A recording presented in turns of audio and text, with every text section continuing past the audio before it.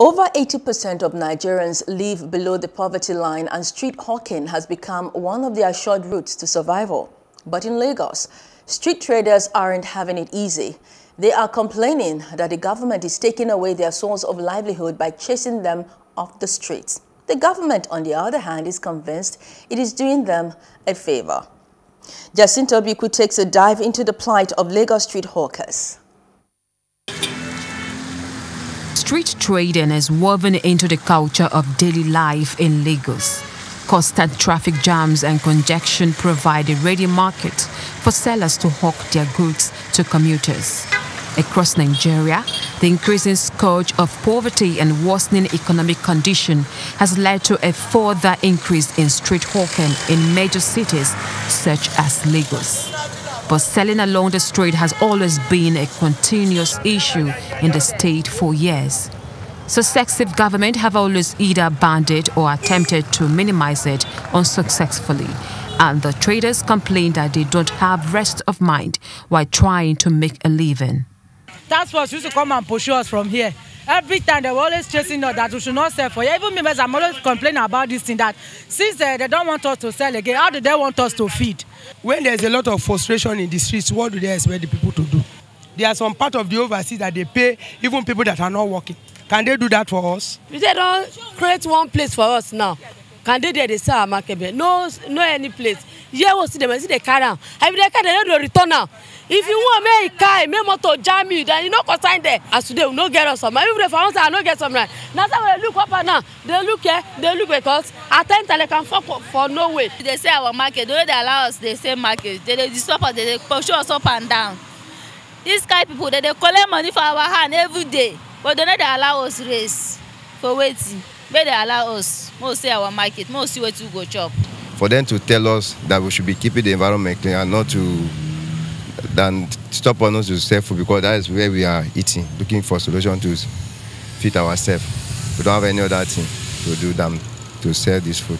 In trying to balance the allegations, we decide to hear from Shola Jejeloye, the chairman of the Lagos State Task Force on Environmental and Special Offences Unit.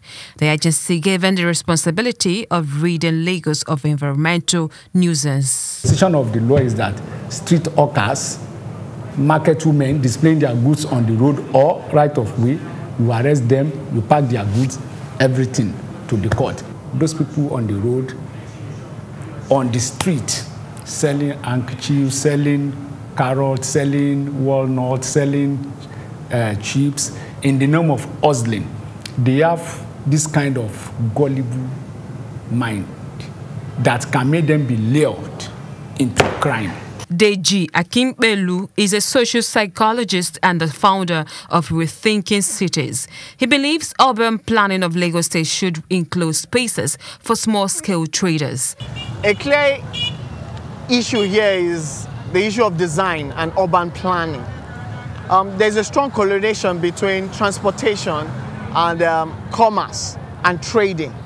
So by default in a city like Lagos where you have um, a bus station that you have large number of people um, ending their journey, by default you have a situation whereby you have trading go, go on around um, those axes and you have lots of places like that. You understand? But when you now build bus terminals and you don't make provision for you don't make provision for affordable stores or what you, what I can call traditional markets or provisions for petty trading, you are definitely bound to have a situation of uh, street trading. I mean, this is Maryland access. This is the bus station that is about to be built. If you build this bus station now, tomorrow definitely what you're going to have as a situation, if you don't have stores if within that bus station, you're going to have people trade along the corridors of the road. So there is a strong issue of design. But Jejeloye disagrees. He thinks Lagos is too large for the government to meet everybody's needs. Lagos is too big. And if you see, even commercial bus drivers want space by government. In our various houses, we want space. We want, some, we want government to still do something. And that is why I have said everybody should look deep and see we must equally help ourselves. Street hawkers, my advice to them is, in as much as we are all able-bodied, they should be encouraged to channel their lifestyle into another profitable means.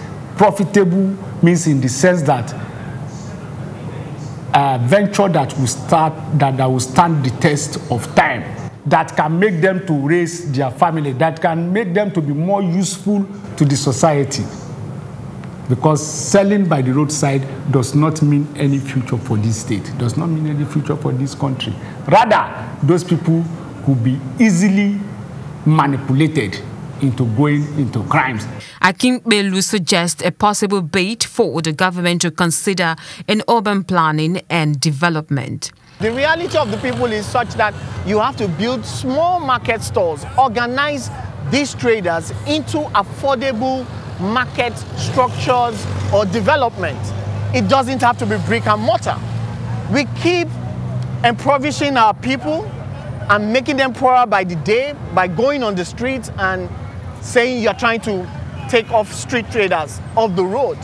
So we have to really rethink our city development, uh, our vexation and interest in ultra-modern, um, we need to review it. We have to meet up with the realities of the people and begin to build according to the needs of, of the society.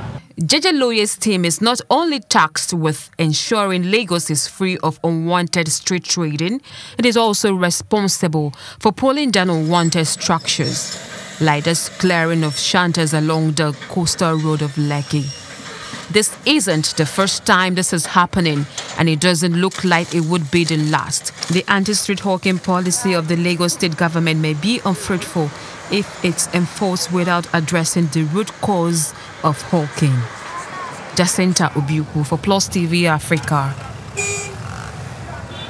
Hello. Hope you enjoyed the news. Please do subscribe to our YouTube channel and don't forget to hit the notification button so you get notified about fresh news updates.